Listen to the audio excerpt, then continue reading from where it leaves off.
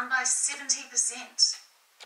The stay home, stay safe message seems to be working in more ways than one. With traffic down around 80% across the country, the number of road accidents has plummeted.